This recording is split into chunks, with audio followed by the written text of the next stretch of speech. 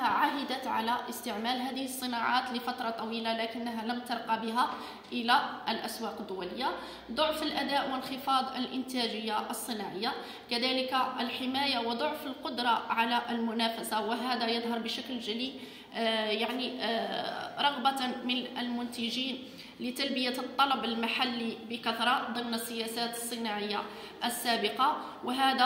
آه، نظرا للظروف التي مرت بها الجزائر سواء ظروف اجتماعية واقتصادية إلى غير ذلك وبالتالي تحاول إشباع السوق الداخلية أكثر ويعني تلبية لأذواق المستهلكين أكثر من العمل على تلبية حاجات الأسواق الدولية. آه، كذلك نقطة أخرى وهي العلاقة مع السوق الخارجية فمحاولة التوسع في السياسة آه، الصناعية التي تبنتها الجزائر منذ انطلاق العملية التنموية.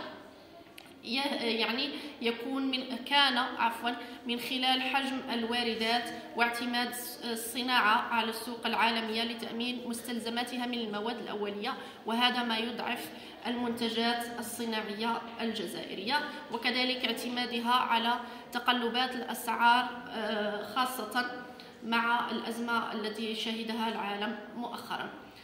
نقطة أخرى وهي ارتفاع كلفة الإنتاج وعدم الاهتمام بالنوعية فالمنتجين والمصنعين في هذا المجال والشركات والمقاولات تهدف إلى تلبية حاجات المستهلك والمستهلك بطبيعة الحال يهدف إلى شراء السلعة بأقل الأثمنة وبالتالي ابتعدت عن آه، الاهتمام بالنوعية. كذلك الاعتماد على التكنولوجيا المستوردة فبعض الأفكار لم ترقى في السوق الوطنية لما هو رائد ضمن عالم الصناعة وبالتالي تعتمد على استيراد الأفكار من دول أخرى أجنبية. كذلك عدم مرونة الجهاز الإنتاجي والذي يتم